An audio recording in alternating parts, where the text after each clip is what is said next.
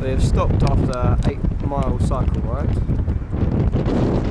And uh, in the distance is the beach, or one of many beaches, in a big city like Chicago. And the very, very distance is, see that one here?